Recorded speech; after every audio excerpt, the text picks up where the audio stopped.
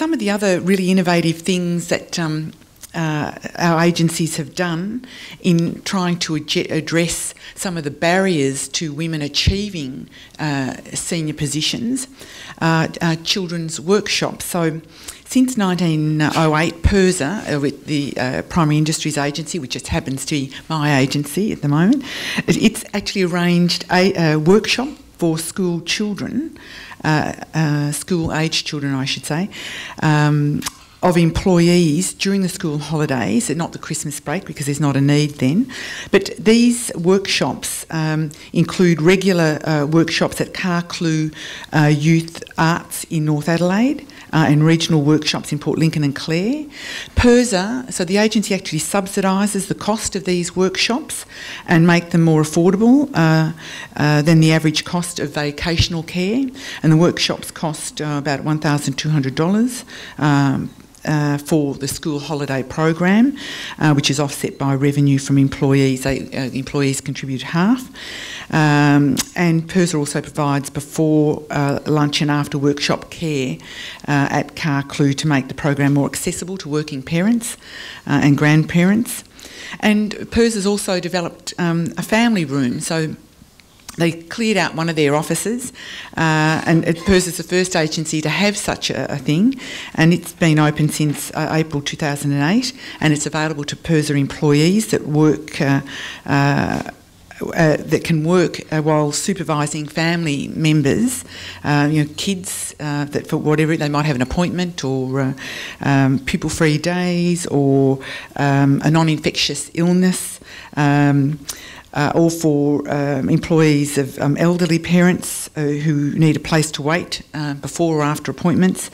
Um, they're a voluntary alternative to taking carers leave and are intended to give employees greater choice and flexibility. Uh, the family rooms provide comfortable seating and there's toys and a TV and a DVD player, along with um, network access for employees. So if the child needs supervision, uh, the staff member can actually um, set up a workstation there as well. Uh, and the fit out uh, was only something like $800. So you know, it's it's it's really simple stuff that can uh, make a, a, huge difference uh, to um, working mums and dads. So um, those sort of initiatives have been. Uh, overwhelmingly well received from uh, from staff. So, part of sharing the benefits of our uh, success is, is uh, to actually recognise uh, achievement each year, uh, and that is important uh, that we must recognise uh, the achievement of, of, others and also ourselves. So, each year the state celebrates and showcases the achievement of individuals, groups, and organisations that have made significant contributions to, for instance, regional South Australia, and that's through the Advantage SA Regional Awards.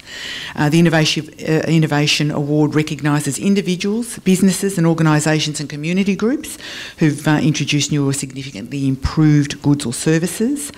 Uh, and the award aims to you know, obviously recognise people, enterprises and initiatives, provide that benchmark for excellence and publicly recognise uh, and reward excellence and there are 12 categories, and I encourage you uh, to enter the category that best reflects uh, your achievements uh, and nominate an individual, business or organisation or event or project. So think about that. It is, uh, women are often the sort of quiet achievers and often don't value uh, the things that we do or um, our colleagues. So it's do take the time to sit back and think, oh yeah, I've, I, my friend or um, my work colleagues or myself um, I should put myself forward for that.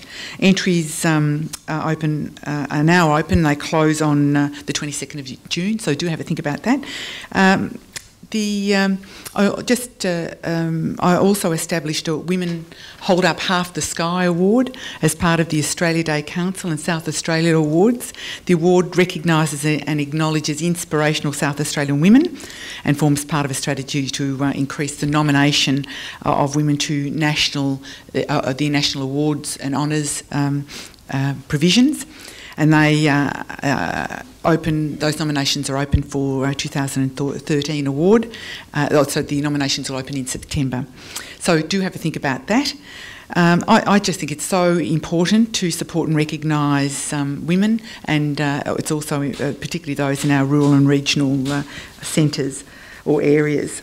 who make significant contributions to their communities.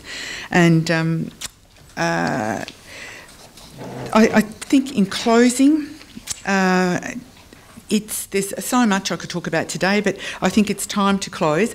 Um, it's through these sorts of initiatives that um, I've, I've, talked about today that I think we're better able to increase the participation of women, particularly uh, into leadership positions, which in turn leads to um, better uh, quality decisions and more successful organisations.